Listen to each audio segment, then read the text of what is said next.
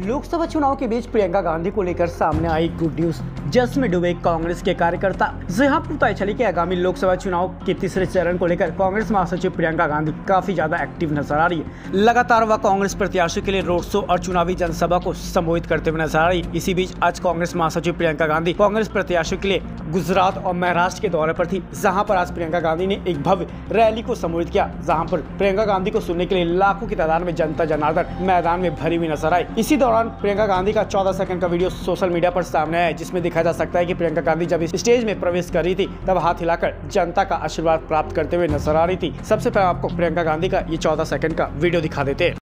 ये जनता आपको इंदिरा जी की छवि देखती है